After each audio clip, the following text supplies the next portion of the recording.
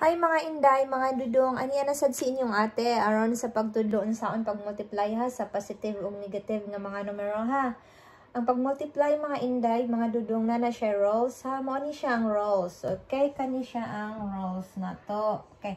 Tanawa kung plus imuhang positive ang imong multiply, ang answer is positive. Okay.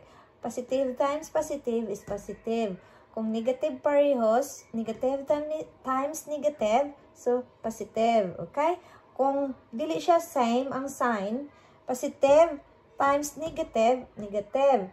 Kung negative siya, i-times sa positive, negative. Basta dili siya parehog sign. Unlike sign o kaning like sign. Mga positive kung like sign, negative kung un unlike sign. Okay? Na ko example. Okay? Example. 5 times negative 25 equals 25. Okay? Kay pareha siya og sign. Ang ilahang sign, ha? Ang atong gigamit nga operators or operation is multiplication. Okay? Ano siya? Okay, so, example, negative 2 times 5 is negative 10. Okay? Dili siya parehas og sign. Negative ang usa, ang usa positive. Bisag wala siya nakasulat nga positive, kung wala may nakasulat diha nga sign, meaning ang numero is positive, ha? Okay. Okay, kanina sad. 5 times negative 3. So, ang atong answer is negative 15. Kay ang ihang sign ug ang sign dili pareha. Okay? Dili siya parehas og sign. Okay, next. Um,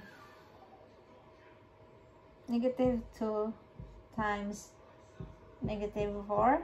So, atong answer is positive 8. Ha? Tungod sa iyahang like sign. Ha? Parehas siya sign. Ha?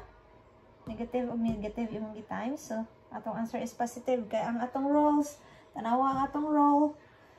Okay? Remember, kayo na. Okay, napailain.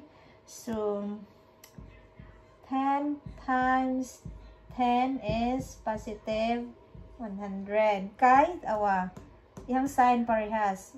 Wala lang na siya sign gibutang. Kung wala sign gibutang means positive na siya pulos, ha? Like sign means positive. Okay. Negative 10 times negative 10. So, ang atong answer is positive 100 still. Ha? Okay? The same sign. Okay? Remember that all the time. The same sign siya. Ihang sign. Kung negative 10 times positive 10, ang ihang answer is negative 100. Okay? Unlike sign man siya. Okay? Bisag, ani pa ni siya? 10 times negative 9. So, ang atong answer is negative 90.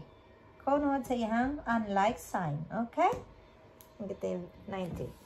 Okay, salamat kayo sa inyong pag-watch mga dong, mga day. Palihog og like sa mga videos na ko guys. Din subscribe sa akong channel. Okay, salamat kayo. See you on the next video.